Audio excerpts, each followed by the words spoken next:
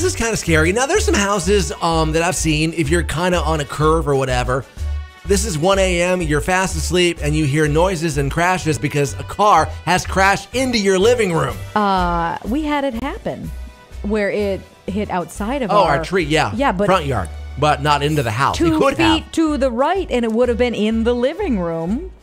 Uh, or Yeah. into the spare bedroom, which yeah, Either which would have been another disaster. Either but- way, but yeah. So Yeah, uh, not drive-through service, but that's exactly what happened in Mira Mesa, California. Uh-huh. Family was sound asleep 1:15 in the morning when a car jumped a curb, drove through the bushes, landed smack in the middle of the living room.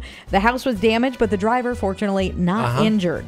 Uh, but 1:15 a.m. Not sure if they fell asleep, if they were speeding, drinking, whatever. But Maybe, yeah. hit the curb, hit the bushes, and Yeah. hit the living room.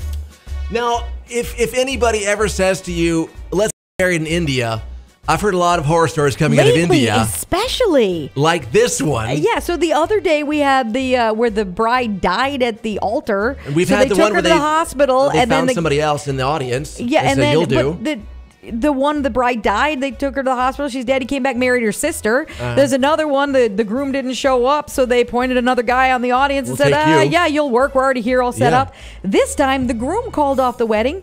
Because of no lunch. Uh-huh. Uh, apparently, the man from India called off his wedding at the last minute because the bride's family did not serve him the correct lunch Uh-huh. as he told them he wanted. Right. So he now has married another woman.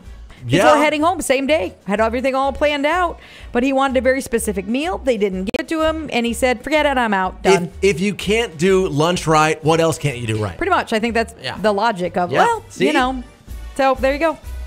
Don't get married in India. No.